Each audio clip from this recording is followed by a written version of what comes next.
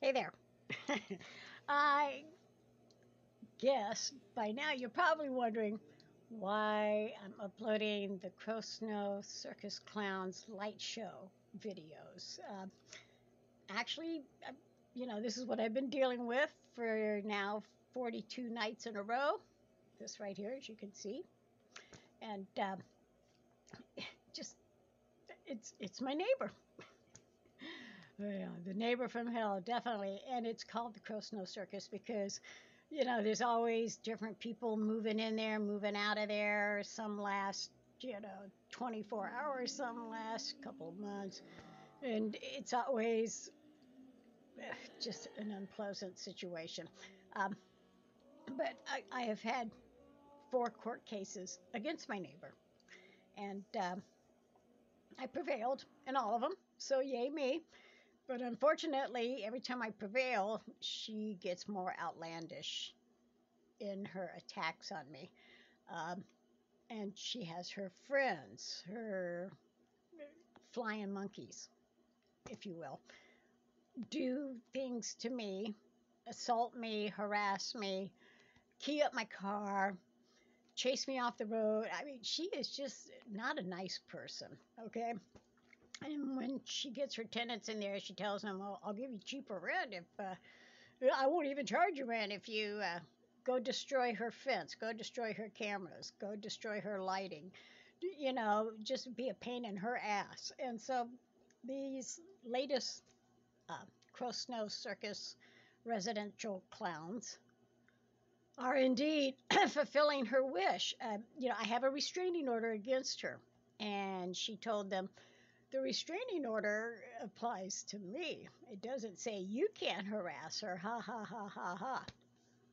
So um, I got to go back into the courtroom, and nothing helps me win my case more than evidence. So yeah, I'm collecting as much evidence as I can, and in order to actually collect this evidence, because my phone is only 16 gigabytes. Yeah, yeah, I know. I need to upgrade, but I can't at this time. I just I can't. So um, yeah, it's 16 gigabytes, and so the files from the security cam footage are too large to email to me because they, it's just the files are too large.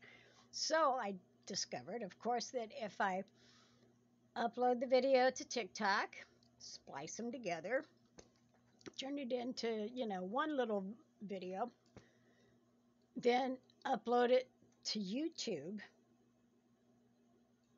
then download it to my computer, which is two terabytes, and then transfer that to a USB stick so I can hand to the judge and say, Here, here's, here's my evidence of why I need your help. yeah, yeah, yeah, it's crazy, but right now, the, as you've seen in the videos, if you've watched them. If not, I, I go watch them. It started off, you know, just like last year about this time, one light into this camera right here that's on my gate that goes into the side there. And uh, then it became two cameras, one and another, you know, camera light on the back gate then it became three cameras. And if you've been counting, yeah, we're up to five cameras now. But the last one right now is in the backyard overlooking my wooden fence. Now, this house is on a hill. So the top of my wooden fence is parallel with the roof of that house. So this kid who is doing everything that the adults are telling him to do, he put another light on top of the ladder overlooking my fence, added an alarm, attached it to my wooden fence in my backyard, and now it's shining directly into my bedroom window. Now, you know, I just, I've, I've put up with it for 42 nights. I've been very patient. I've called the police and they haven't, you know, even though it's a restraining order violation because they're acting on behalf of Crosnoe. So technically it's indirect harassment, third party violation. I have a no contact order, which means zero contact from her or any of her friends, family members, anything, right? They're, they're not allowed to touch my fence. And so I have alarms on that fence. So they're trying to disable the alarms, and they do disable them. So I have to turn them off so the rest of the neighborhood is not being forced to deal with it. I mean, you know, there, there's no reason the rest of the neighborhood should have to suffer because these clowns want to harass me. So, uh, yeah, I turn off the alarm and I make it be a silent alarm so my phone still notifies me, even though it's not notifying the rest of the neighborhood. And, you know, these clowns, I wouldn't even have them on camera if they honored that it's nine feet. They're not allowed to come within nine feet of the fence. But I have it set for six feet because, you know, accidents happen. You can step inside that perimeter, right? And they're destroying my property. John Matson, he's vandalized my retaining wall completely. Like I said, this house is on a hill, and to replace it, it's going to be pretty pricey. And this person doing the light show, he's only 14. 14. And his grandmother is telling him to do it. Linda Crosnoe, the person I have the restraining order against, she's telling him to do it and he's doing it thinking, you know, he's being a good person, I guess. I don't know. Who tells somebody to go harass the neighbor? And technically, it's elder abuse because I'm old, right? I don't just qualify for that senior discount. Uh, you know, I've hit the age where, yeah, 65, uh, I qualify in that elder abuse category. But I do go back into the courtroom. And so I'm just going to have to keep collecting the evidence it's showing what I'm asking for a modification of that restraining order, seeking to make sure that nobody from this address can harass me, annoy me, disturb my peace, destroy my property on behalf of Linda Crosnoe, and even whether or not she's telling them to do it and they're just doing it because they want to. If they're at that address, no, I, I, I don't want to be harassed by them.